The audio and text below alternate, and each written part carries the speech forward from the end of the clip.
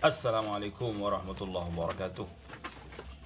Oke sahabat-sahabat ternak semuanya. Salam ngerit. Salam angon. Salam sukses ya. Salam peternakan. Ya masih bersama channel kami Channel Bang J Ternak. Agar nih kali ini Bang J berada di uh, Kandang Bang Mukhlis yang berada di desa Jatigunting dusun Sumber Gentong ya. Kecamatan Morejo Kabupaten Pasuruan. Masih ada di Pasuruan Jawa Timur. Ya. Bagi kawan-kawan yang baru menemukan channel saya jangan lupa untuk membantu channel saya kawannya agar channel saya ini bisa berkembang dengan cara like komen dan subscribe channel saya ini ya.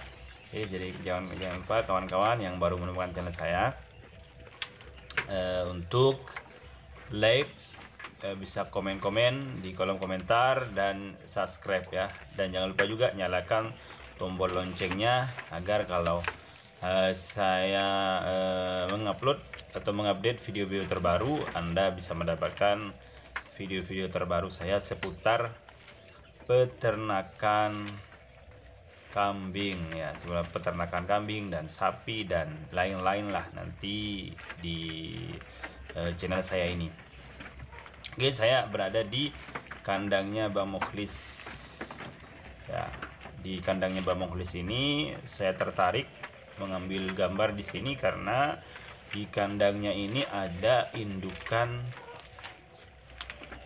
yang luar biasa menghasilkan cempe-cempe atau e, peranakan anak-anaknya istimewa. Ya, jadi di kandang sederhana ini ada kambing indukan yang luar biasa menghasilkan cempe atau e, anak-anakan yang istimewa. Ya. Cuman sayang ketika uh, saya sering menggoda Bang Mukhlis ini agar uh, menjual kambingnya ke saya beliaunya tidak pernah mau. Karena biasanya memang Bang Mukhlis ini kambing-kambingnya ini uh, sering kali dipersiapkan untuk idul kurban ya. Untuk berkurban biasanya ya.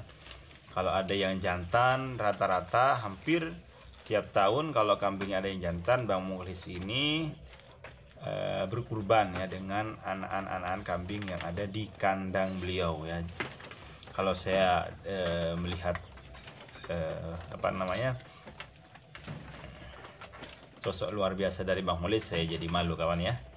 Nah nah ini nah ini ini dia e, yang sedang makan ini adalah indukan yang luar biasa. Nah ini ada jantan anak-anaknya dan ada juga betina dan rata-rata dari keturunan dari indukan yang ada di kandangnya Bang Mukhlis ini karena emang induknya bagus itu rata-rata anakannya bagus kawannya bagus rata-rata anakannya bagus. Kalau tidak eh, nurun ke pejantannya dia lebih nurun ke betinanya. Dan betinanya ini sudah luar biasa. Meskipun usianya sudah ya mungkin ada lima tahun lah mungkin usia indukannya tapi eh, anak-anaknya atau cempe-cempenya itu bagus kawan. Bagus-bagus kawannya anak-anaknya bagus. Saya sampai kalau main kandangnya Bang Muhlis ini sampai ngiler kawan ya. Sampai ngiler pingin belilah salah satu dari anakannya. Cuman tidak pernah dijual sama beliaunya tidak pernah mau dijual kambingnya itu. Ya. Tidak pernah mau dijual kambingnya karena memang Bang Muhlis ya buat hobi saja mungkin anu kambing ini ya. Baru kalau kadang ada yang betina itu kadang dijual. Karena saya yang saya tawar itu yang eh, yang cempe jantan ya atau yang pejantan eh, beliau tidak mau jual. Kalau jantan biasanya memang dipersiapkan untuk eh, kurban idul kurban. Untuk berkurban misalnya bang Mulis ini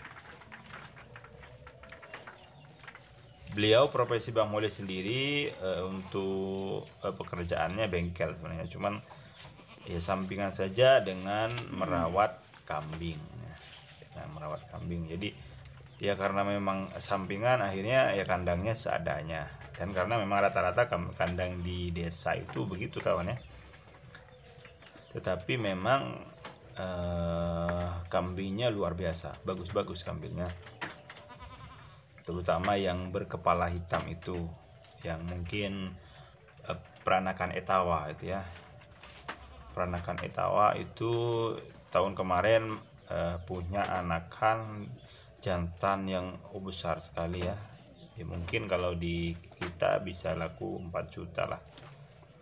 Laku 4 juta kalau di kampung kalau diambil dari kalau diambil uh, pedagang tapi kalau mungkin dijual pedagang lagi bisa laku 5 atau 5 lebih. Karena memang anakannya bagus-bagus luar biasa. Pakannya emang ya dari hijauan saja kawan. Pakannya dari hijauan saja. Tidak dicampur apa-apa hanya dengan mengandalkan hijauan yang ada di sekitar.